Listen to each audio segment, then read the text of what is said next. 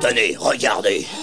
Tonnerre de bon sang, les chenilles Transformées en papillons. Mon Dieu, c'est vrai Regardez Ils volent de tous les côtés Monsieur Claquebuf, je veux pas mourir ici, moi, c'est trop triste. Frère Maclouf, impossible de repartir. Mais il faut repartir J'ai affaire, moi Et puis nous n'avons presque plus rien à manger Patron, j'ai soif. Moi aussi.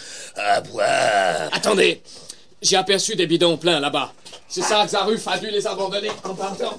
Euh, Aidez-moi à l'ouvrir, tenez. Oh. Oh, ça, Ça y est. Donnez votre timbal, Maclouf. Merci Merci, mon ami Assez pour toi, Grognache. Ouais, Serre-moi. ouais. Parfait. Là. Allez. Allez, on trinque, hein. Messieurs Allez. À notre salut Ah,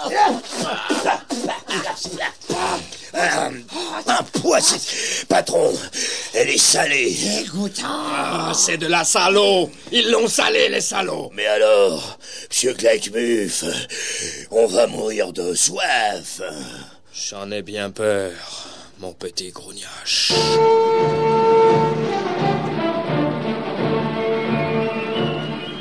Et cependant que sur la côte de Floride, un orage terrible éclatait, beaucoup trop loin d'ailleurs et sans aucun rapport avec notre histoire, à Yadupur, capitale du Philekistan, règne une intense et fébrile activité. C'est que les grandes fêtes du Mastarapion approchent et que chacun s'y prépare soigneusement à l'avance.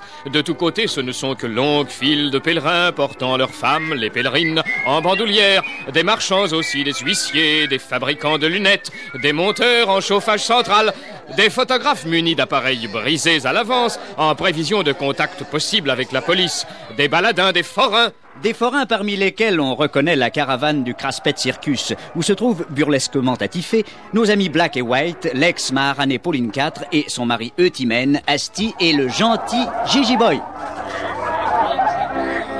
croyez-moi, mes enfants, on a bien fait de s'arrêter ici. Avec cette foule compacte, nous ne pouvons pas aller plus loin. Quelle multitude, quelle cohue Dites, Madame Apolline, ça doit être quelque chose, hein, ces fêtes du Mastarapion. Les fêtes du Mastarapion?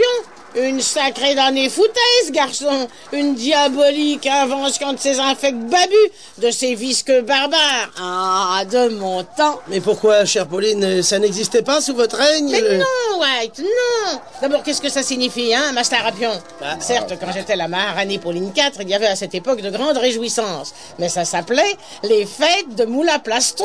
Ça, ça voulait dire quelque chose. Mais regardez-moi ces bandes d'abrutis fanatisés, terrorisés par les babus. Car ne vous y trompez pas, ils n'y viennent pas tous de leur plein gré. Seule la crainte des babus. Oh, ce n'est pas particulier au Philekistan, chère Pauline, en d'autres pays. Peut-être, mais celui-ci est le mien.